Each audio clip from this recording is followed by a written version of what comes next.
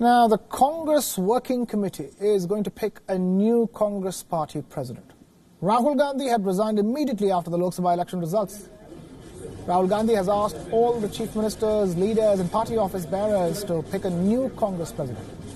The Congress Working Committee had rejected his resignation, but Rahul Gandhi remained firm on his decision to quit.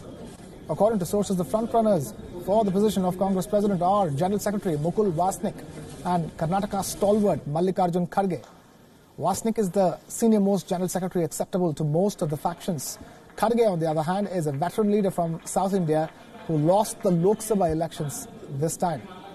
Another person in the fray is K.C. Venugopal, who happens to be the general secretary in charge of organization. He does not have many takers to accept the office of Rahul Gandhi. Last month, Rahul Gandhi had made it clear that no person from the Gandhi family would occupy the position of the president of the Congress party. Sonia Gandhi would continue to be the leader of the Congress parliamentary party in the Lok Sabha or the lower house of the Indian parliament. Priyanka, Priyanka Gandhi currently holds in charge of Eastern Uttar Pradesh as the general secretary of the party.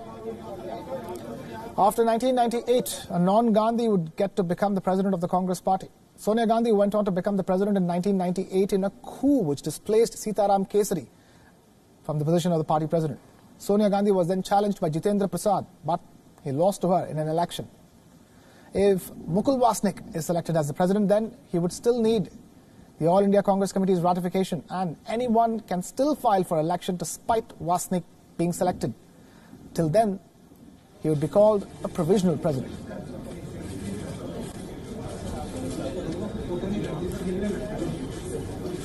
And now we have uh, our political editor Kartikeya Sharma joining us live from outside the Congress party headquarters in India's capital, New Delhi. Kartikeya, talk to us. Uh, uh, is the suspense over now, or how long is it going to take? Uh, you know, the suspense, Krishna, is not over for one simple reason that uh, the discussion uh, have lasted longer than they should have and uh, the working groups have not been able to uh, come on a single candidate. Now, the sources were saying that the, most of the working groups were of the opinion that uh, Rahul Gandhi should continue. But the issue is that Mr. Gandhi has not come back for the working committee meeting because he wants to force that a non-Gandhi should be uh, the provisional Congress president. Now, we understand the issue that the working committee can uh, pass the name of a provisional candidate, but he has to be ratified by All India Congress Committee, which means that if there is a candidature without consensus, it can lead to election. Though Congress had elections five times in all its history of more than 100 years, uh, the best known uh, election has been between Jitendra Prasad and Sonia Gandhi, whereby Sonia was uh, selected as a person by Congress Working Committee. But uh, when it came to the All India Congress Committee, Jiten Prasad threw in the hat, though he got defeated. So now the issue is what is what needs to be done. One thing we know that we will have a name by end of the day because the chief of the communication department, Randeep Surjewala, has said it very very categorically.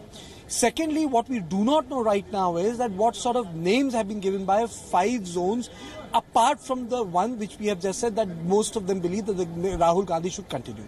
And lastly and most important of all, yes, the names of Mallikarjun Kharge, Sushil Kumar Shinde, Mukul Wasnik, they have been in air. But the larger issue is that what sort of a mandate which the working committee wants to give to that president. It ultimately depends on that, Krishna. Because when Sonia Gandhi became the president, it was like the Congress ran towards the Gandhi for its own rescue when Sitaram Kesri was the president because it was being uh, fragmented from various places. Now, Congress is in a very emaciated state in such that every day a member of parliament is resigning and going. So what they really need to do right now is to arrest the tide because two elections are around the corner. One is in Haryana and another is in Maharashtra. Elections around the corner and the Congress party needs to pick a president. Uh, Kartikeya, uh, one last question. Uh, you know, this is a speculation I'm asking from you. Uh, by when do you think uh, the Congress party will be willing uh, to announce the results of all the deliberations? Well, I would say tonight. Uh, this this is a certainty that the name is going to come out you know but then the larger issue is that the debate has uh, you know become longer that meeting has become lengthier uh, and Rahul Gandhi has not come for it which means that you know probably he wants to stay away from it. Now what sort of impact does Rahul Gandhi staying away from the process of selection of a Congress president will have is something we'll know, come to know only after the meeting is over. But nonetheless, this is unprecedented in the way because this working committee has involved a lot of chief ministers and regional setup, which was not the case when this happened when Sonia got elected as the Congress president. Krishna. Kartikeya Sharma, our political editor, joining us with the latest updates on who will be the new Congress party president. Thank you, Kartikeya, for being with us here on this broadcast. Shifting focus.